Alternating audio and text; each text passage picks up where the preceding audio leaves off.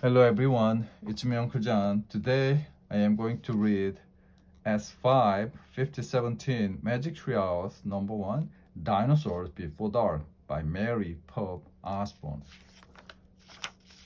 Chapter 3 Where is here? Jack looked out the window. He looked down at the picture in the book. He looked back out the window.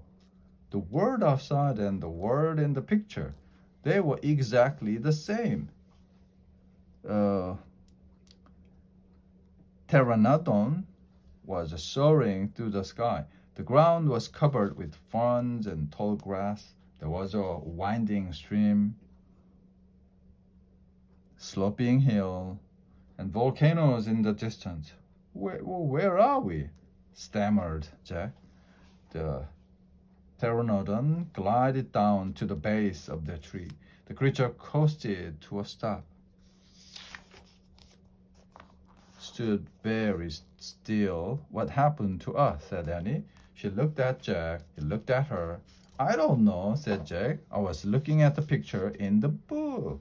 And you said, wow, I wish I could see a uh, pteranodon for real, said Annie. Yeah, and then we saw one in the Frog Creek Wood, said Jack. Yeah, and then the wind got loud.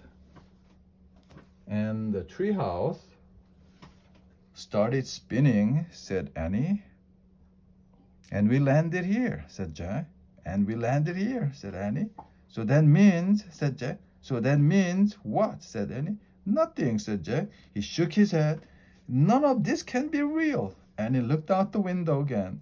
But he's real, she said. He's very real. Jack looked out the window with her. The pteranodon was standing at the base of the oak tree. Like a guard, his giant wings were spread out on either side of him. Hi, Annie shouted. Shush, said Jack. We are not supposed to be here.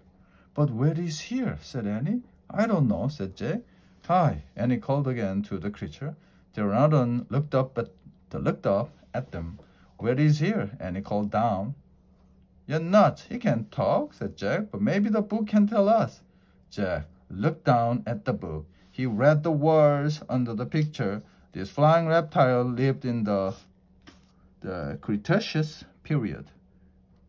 It vanished 65 million years ago. No, impossible. They couldn't have landed in a time 65 million years ago, Jack said Annie. He's nice. Nice? Yeah, I can tell. Let's go down and talk to him. Talk to him? Annie started down the rope ladder. Hey, shouted Jack, but Annie kept going. Are you crazy? Jack called. Annie dropped to the ground. She stepped boldly up to the ancient creature. The end.